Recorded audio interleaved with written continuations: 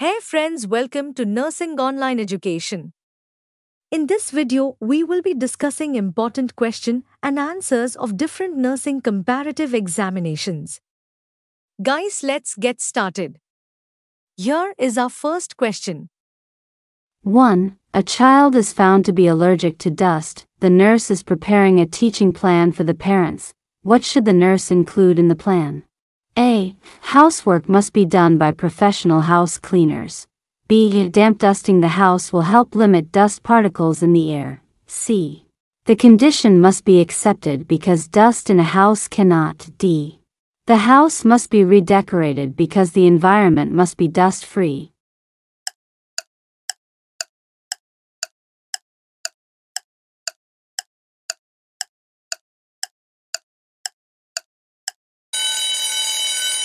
The answer is option B. Damp dusting the house will help limit dust particles in the air. 2. A client who has just started on a regimen of haloperidol, Haldol, is observed pacing and shifting weight from one foot to another. What side effect does the nurse document in the client's chart? A. Akathisia. B. Parkinsonism. C. Tardive dyskinesia. D. Acute dystonic reaction.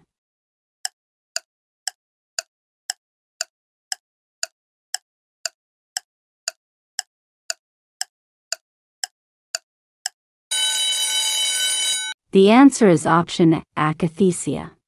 3. A client who has been on a psychiatric unit for several weeks continually talks about delusional material. What response by the nurse is most therapeutic? A. Ask the client to explain the delusion. B. Allow the client to maintain the delusion. C. Encourage the client to focus on reality issues. D. Explain to the client why the thoughts are not true.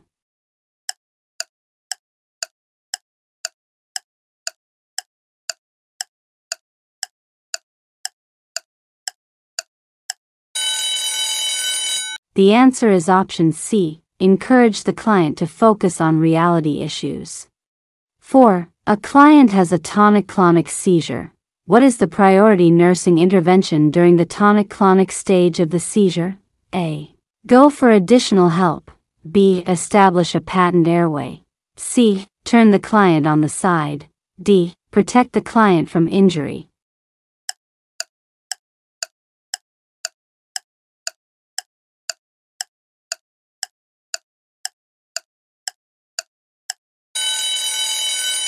The answer is option D, protect the client from injury. 5. A nurse admits an adolescent to the psychiatric unit with the diagnosis of anorexia nervosa. What is the primary gain a client with anorexia achieves from this disorder? Reduction of anxiety through control over food. B. Separation from parents secondary to hospitalization. C. Release from school responsibilities because of illness. D. Increased parental attentiveness related to massive weight loss.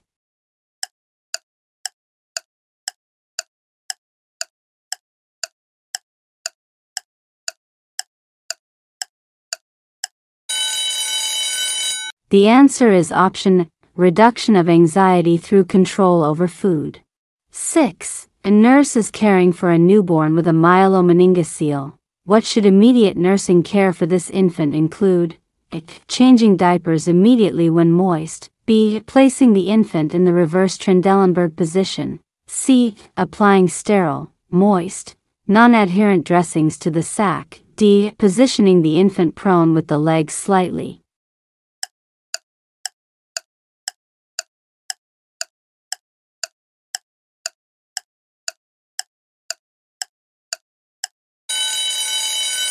The answer is option C applying sterile, moist, non-adherent dressings to the sac. 7. The cervix of a client in labor is dilated 8 cm. She tells a nurse that she has a desire to push and is becoming increasingly uncomfortable. She requests pain medication. How should the nurse respond? A. Help her to take panting breaths. B. Prepare the birthing bed for the birth. C. Assist her out of bed to the bathroom. D. Administer the prescribed butorphanol, Stadol.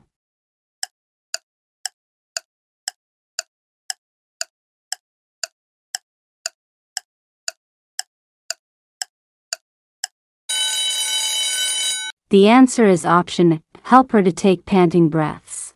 8. A nurse administers an intramuscular injection of vitamin K to a newborn. What is the purpose of the injection? Maintains the intestinal floral count. B. Promotes proliferation of intestinal flora. C. Stimulates vitamin K production in the baby. D. Provides protection until intestinal flora is established.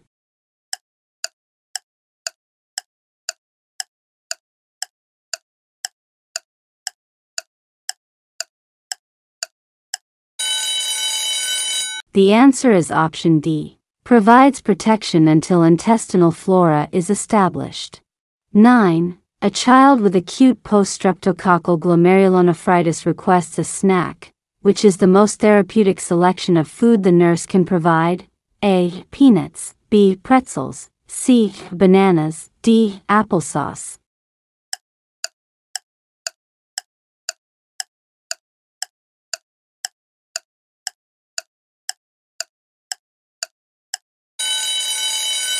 The answer is option D, applesauce. 10. A client reports experiencing nausea, dyspnea, and right upper quadrant pain unrelieved by antacids. The pain occurs most often after eating in fast food restaurants. Which diet should the nurse instruct the client to follow? A. Low fat. B. Low carbohydrate. C. Soft textured and bland. D. High protein and kilocalories.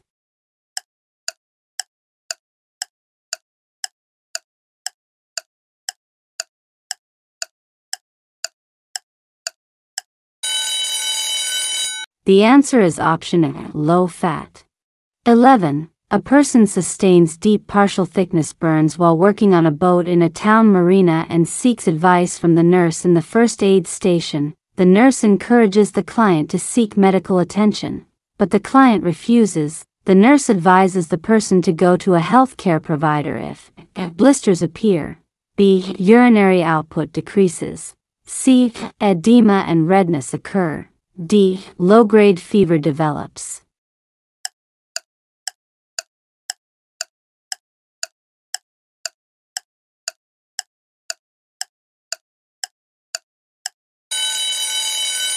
The answer is option B, urinary output decreases. 12. A client with a history of gambling has legal difficulties for embezzling money and is required to obtain counseling. During an intake interview, the client says, I never would have done this if I had been paid what I am worth. What factor will create the greatest difficulty when assisting this client to develop insight? A. Feelings of boredom and emptiness. B. Grandiosity related to personal abilities. C. Projection of reasons for difficulties onto others. D. Anger toward those who are in authority positions.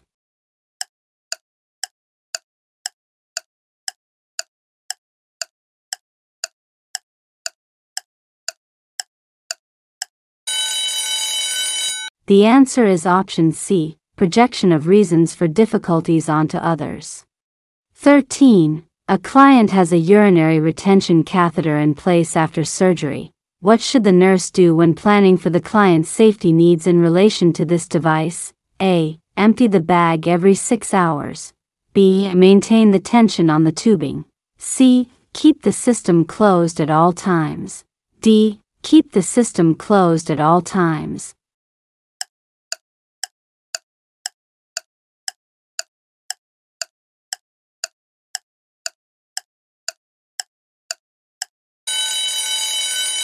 The answer is option C, keep the system closed at all times. 14.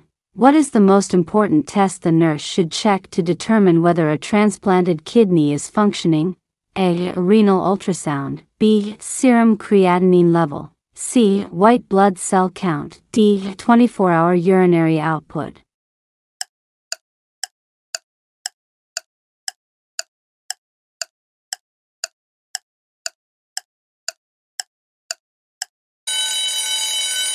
The answer is option B, serum creatinine level. 15. A pregnant adolescent at 10 weeks gestation visits the prenatal clinic for the first time. The nutrition interview indicates that her dietary intake consists mainly of soft drinks, candy, french fries, and potato chips. Why does the nurse consider this diet inadequate? A. Caloric content will result in too great a weight gain. B. Ingredients in soft drinks and candy can be teratogenic in early pregnancy. C. Salt in this diet will contribute to the development of gestational hypertension. D. Nutritional composition of the diet places her at risk for a low birth weight infant.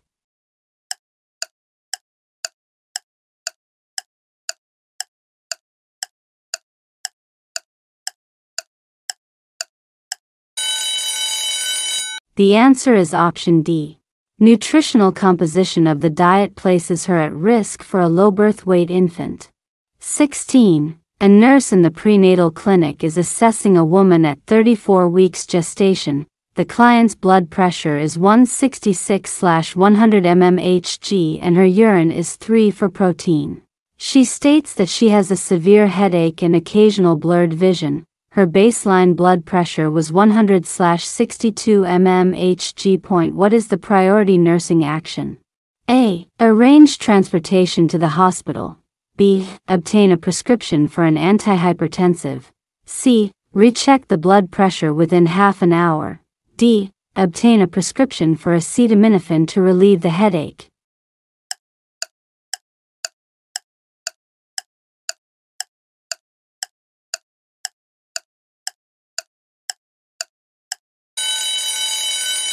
The answer is option A, arrange transportation to the hospital. 17. A child has cystic fibrosis. Which statement by the parents about their plan for the child's dietary regimen provides evidence that they understand the nurse's instructions? A. I will restrict fluids during mealtimes. B. I will discontinue the use of salt when cooking. C. I should provide high calorie foods between meals. D. I should eliminate whole milk products from the diet.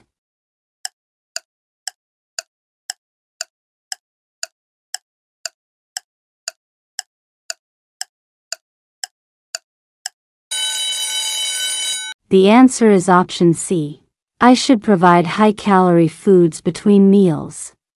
18. A nurse is caring for a client with glaucoma. What rationale associated with the need for treatment of this condition should the nurse include in a teaching program? A. Total blindness is inevitable. B. Lost vision cannot be restored. C. Use of both eyes usually is restricted. D. Surgery will help the problem only temporarily.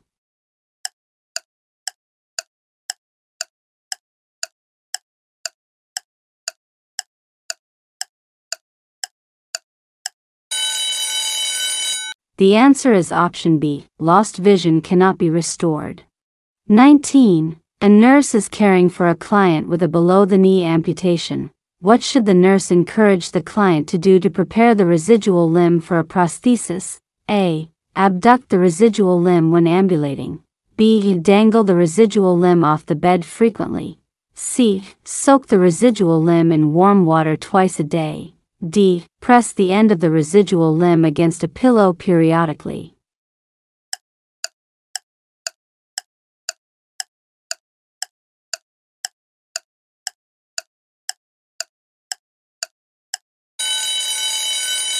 The answer is option D.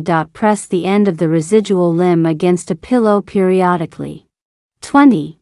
A client is admitted to the hospital with a diagnosis of an exacerbation of asthma. What should the nurse plan to do to best help this client? Determine the client's emotional state. B. Give prescribed drugs to promote bronchiolar dilation. C. Provide education about the impact of a family history. D. Encourage the client to use an incentive spirometer routinely.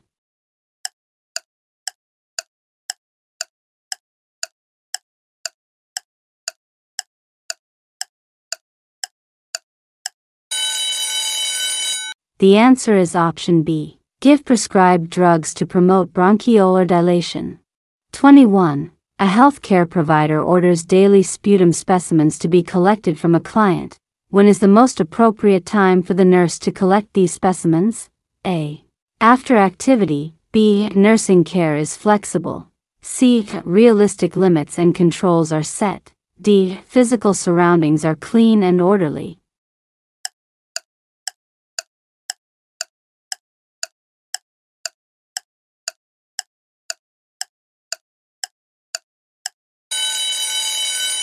The answer is option C. Realistic limits and controls are set. 22. Which factor is essential to consider when a nurse evaluates whether a unit environment is conducive to psychologic safety for a confused client with dementia? A. Needs are met entirely. B. Nursing care is flexible. C. Realistic limits and controls are set. D. Physical surroundings are clean and orderly.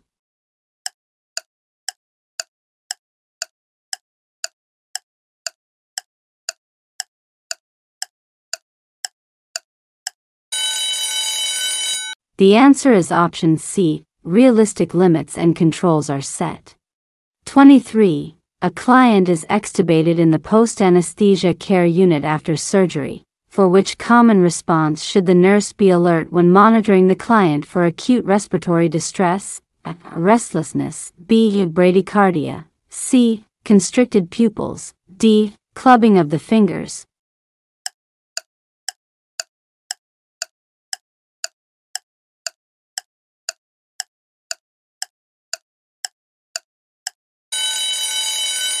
The answer is option A, restlessness. 24. N4 infusion of magnesium sulfate is prescribed for a client with severe preeclampsia. The dose is twice the usual adult dose. When a nurse questions the dosage, the healthcare provider insists that it is the desired dose and directs the nurse to administer the medication. How should the nurse respond to this directive? A. Administer the dose and monitor the client. B. Withhold the dose and notify the nurse manager. C. Administer the dose and document it on the client's record. D. Withhold the dose and notify the director of the obstetric department.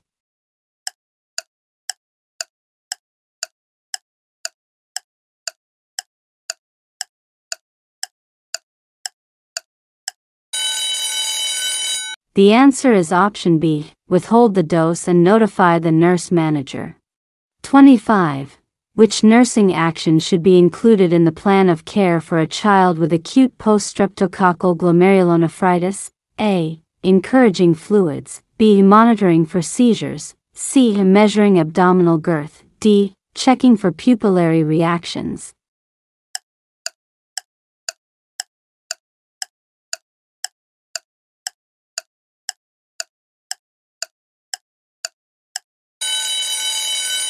The answer is option B, monitoring for seizures.